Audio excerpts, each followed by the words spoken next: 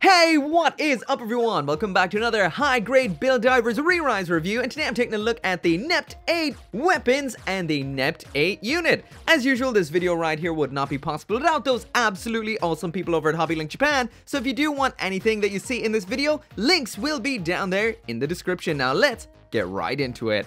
So right away, this right here is the combination of absolutely everything that comes in the Pero boxes that we're going to be looking at today because just like with a lot of the Season 2 Planet System releases, everything here is sold separately. So one thing I will mention right off the bat is this thing has a lot of stickers on it, but first, let's take a look at the boxes. So first off is the smaller of the two boxes. This of course is the Nepteight weapons. So up there in the top left hand corner we can see everything that comes in here. That's a backpack adapter, these two claw-like parts, a pair of handles, and the backpack segment. So onto the side of the box, once again we've got everything that comes in here. That is the Nepteight weapons, but if you want to make the full Nepteight Gundam like it shows right here, you will need the entire high-grade Uraven Gundam, throw away all the armor parts, and then get the Nept 8 armors. I do think it is a bit of a letdown that we can't just get a box with an 8 Gundam Core Gundam the weapons all together. That would have been nice, especially if you want all of these guys side by side. But hey, what can you do? Anyway, if you do want to use these separately, you can use them with pretty much any other Gundam. What they're using right here is the GBN Base Gundam, aka the Neon Granddaddy. And around on the other side of the box, there's, well, pretty much nothing. Let's take a look at the other one. So this one right here from the front looks like your standard size Gunpla box. It is on the skinny side because it is just the armor and the planet system support unit. Once again, there is an image of absolutely everything that comes in the box. So the armor, once again, planet support unit, and some extra hands. Moving over to the first side of the box. And there's an image of the fully put together Nept 8 unit, of course, you will need Core Gundam 2 to use this with, that comes with the Uraven Gundam. By combining the Uraven Gundam and this kit, we will get this right here. Then combining this kit that we just looked at, we can get this right here. So, there is no denying it is a little bit on the messy side. So as for what is inside the box, I have built this already, but with the Nept 8 weapons, we do have four runners. That is two in white, two in a nice shade of gray, a whole lot of stickers and this is just the weapons. Yeah, I use them all just for the sake of example, but yeah, this thing is sticker heavy. And finally then, we've got the instructions. Of course the weapons come in here too, and these bits. Inside of box the second, which is the Nepteight unit, we have a grand total of 5 runners, one in white, two in a very dark purplish grey, one in that nice light grey, and one in this really crazy shade of very light bluish green? Definitely a unique color right there. Once again, a hell of a lot of stickers in this box, so combined with the ones from the Nepteight weapons, yeah, that is not cool. Of course, there is no way for Bandai to make the kit shiny in this kind of way without using stickers, but yeah, that is a lot of stickers. It is here in the Nepteight unit box that we do get the instructions with all the information on the mobile suit, pilot, etc. This time around it is a little bit on the weird side, it all feels a bit like an afterthought. The information on the Nepteight Gundam itself is pretty normal, the TLDR is it's a long-range cruising version of the armor for on the Core Gundam 2. The blurb on the pilot Hiroto is a little bit on the odd side because it boils his entire character down to he met a girl once. The next Bit then is about his friends and family, and it's all a little bit, well, rushed seeming.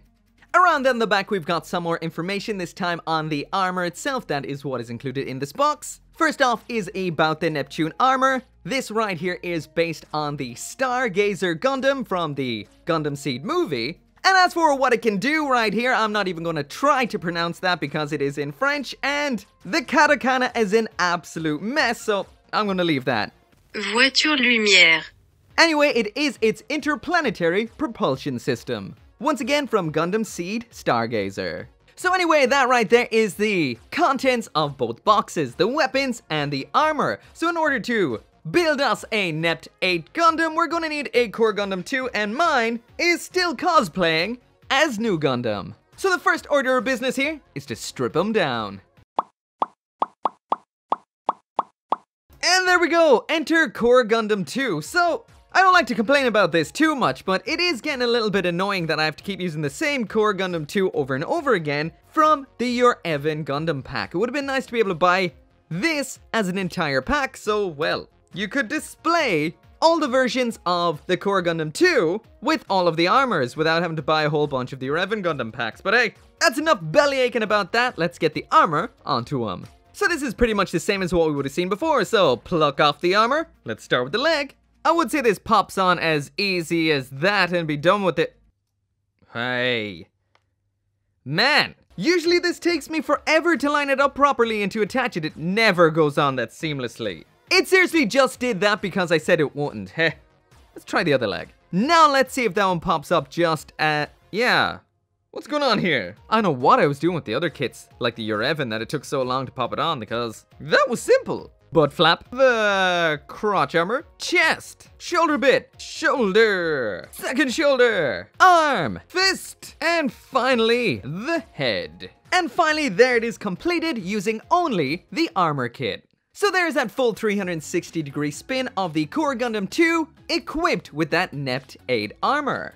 So this right here kind of feels like the second coming of the V2 Gundam, mainly because of the color scheme, it's kind of like a faded variant of what we would have seen with V2, as well as that type of V-fin that's more of a big old pointy horn upwards as opposed to the traditional split V-fin. Besides that though, the biggest departure from what we would have seen with V2 is the Big white armor on the shoulders, knees, and the sides of the legs, and of course all those stickers. Once again, this thing has a whole lot of stickers going on. If it's shiny and yellow, that's a sticker.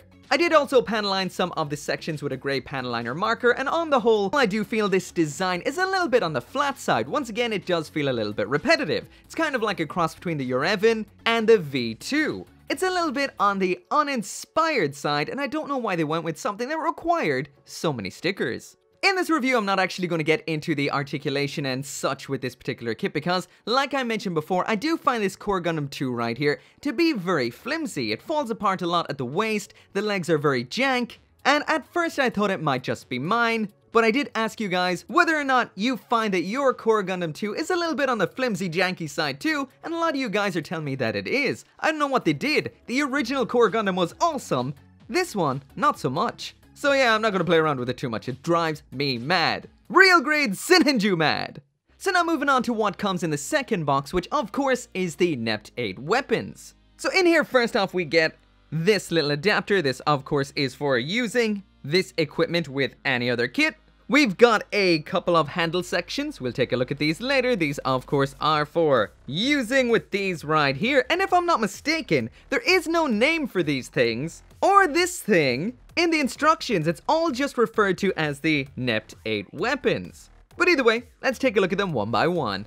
So this whole back unit section right here has some moving parts here that pop out like this. So these do create that whole big ring segment that we'll take a look at soon. We also have a moving part up here, another hinge type mechanism right here, and to attach this onto the back of the Nept 8 Gundam right here, you just move these down, pop that on like so, and there we go. Like I mentioned before, if you want to use this with another kit, we do have this included backpack adapter. Let's just quickly try this out with ye old Jim Jim. So pop that in like so. And the backpack then pops into that just like that. So this will fit into any standard backpack adapter slot. As for these things that don't seem to have any definitive name, you have the choice to attach them on directly just like this here. Oh, those weak old legs! This thing's gonna drive me ballistic! Oh, God!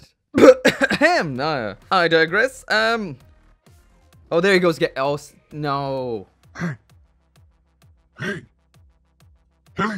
Whoa, hey, look, it's a good core Gundam. Hey, you know, I could just cut in any time and, you know, wear that armor instead, you know, to give you less headaches than that guy. Nah, thanks for the offer, awesome original core Gundam, but uh, I wouldn't disgrace your memory with this absolute mess. You go back to your Earthree armor. Or the Jupitive, you know, the good stuff. Yeah, but you do know I'm here if you need me. I know good core Gundam.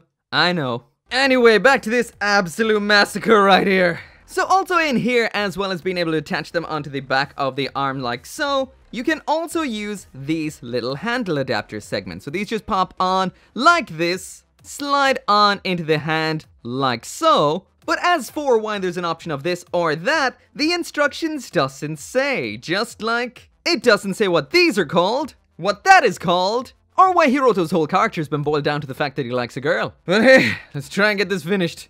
Man, remember those times when everything that you wanted to make the Gundam you saw in the anime came in the box? Yeah, the weapon, the armor, the core Gundam, etc. Yeah, the Earthree days. Those those were nice. Those were very nice days. I uh I wish I was reviewing that kit right now to be honest. Blatantly honest. This thing right here is one of the biggest messes I've ever had to take a look at in quite some time. Rickety legs, Rickety torso, no name to the weapons. Yeah, that isn't even fully attached if that held on with tack because this poor guy has had to wear so many armors that this little segment in here is actually broken off that was holding that on. I feel bad for Core Gundam 2. He was weak to start with, and just absolutely everything that Bandai is putting this poor guy through. So because this Gundam hasn't been in the anime yet, oh god, that leg, I can Can I just spend the rest of the review with him lying there? Because he, he, seems to want to do that. Like I was saying, I think the reason this is included might just be so you can use it with other kits if you attach it to them, but uh, I don't know. This thing hasn't been in the anime yet, and uh, the instructions tells me absolute jack shit.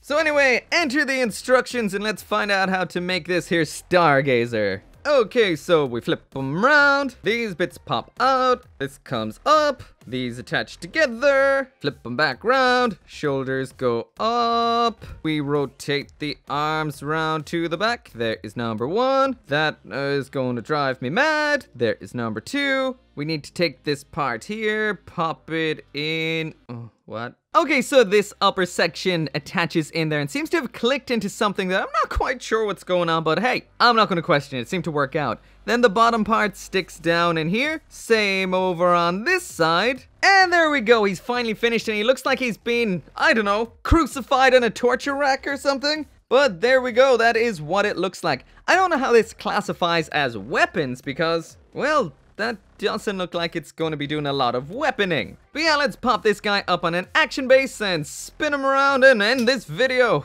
So anyway, that right there is it for the review, and it pretty much goes without saying that I am a little, if not a lot, disappointed by this combination of kits right here. This particular line of Hiroto's core Gundams and armor sets started off with such a bang. The Earthree Gundam was so good. It was a complete package, had all the weapons, the armor, the core Gundam, and it was essentially perfect. This is the complete other side of the spectrum entirely. This thing, you need to buy three different kits, you then would need to discard the Uraven armor and then build this. On top of that, the armor and the weapons are so reliant on stickers, so as an out-of-box build, it will either look color inaccurate or covered in not so great looking stickers. The option is always there to paint it, but once again, in 2020, it seems like an odd idea to design a kit that you can't fully complete with plastic. Once again, I will mention that the Core Gundam 2 I have is extremely, extremely weak, flimsy, and fragile. Again, I don't know if that's just the one I have right here, or if that goes for every one. So once again, if you do have a Core Gundam 2, do you find that its knees and waist are weak, or do you find that yours is pretty much solid? Drop that down there because I would love to know. Thankfully, this right here is not going to be the last time we see Core Gundam because the high-grade Core Gundam Animarize is coming out sometime soon. So hopefully, hopefully, hopefully, that will make the line of Core Gundam kits end with a bang. As for this, the only bang this thing makes is every time it flops over, driving me mad. Anyway, if you absolutely adore Gundam Build Divers Re-Rise, I say go for it. It's not the worst thing ever, but if you're just thinking about getting it just for the fun, I would say give this thing a miss. But anyway, as always, thank you so much for watching. Make sure to come back for more Gunpla reviews, and I will see you next time. So once again, I can't end this video right here without thanking each and every one of you guys for watching this video, as well as liking and subscribing. And of course, special thanks to my channel members and patrons, Craig Jury, Kaiser721, Tyler Sanders, Caleb Engelhart, and Sean T.